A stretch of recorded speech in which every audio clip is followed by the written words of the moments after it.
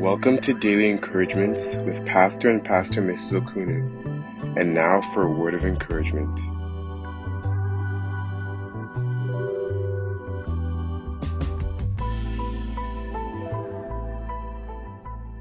First Corinthians chapter 1 verse 30. Christ made us right with God. He made us pure and holy and he freed us from sin. Today, every ungodly addiction tormenting your life, the power of God set you free today in the name of Jesus. The rod of the wicked will never rest upon you and your household. In Jesus' mighty name, amen. You unravel me with a melody. You surround me with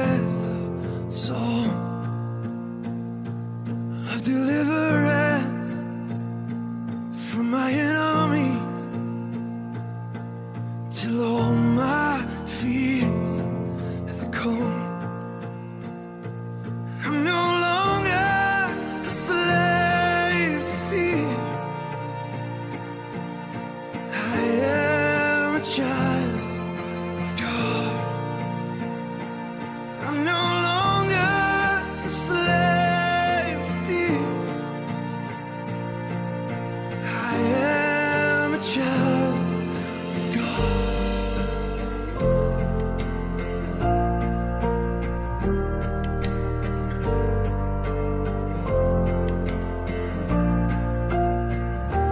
From my mother's womb, you have chosen me.